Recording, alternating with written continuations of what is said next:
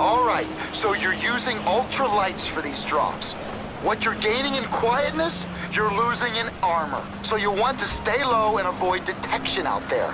Fly under the radar, make the drops, and we'll get paid.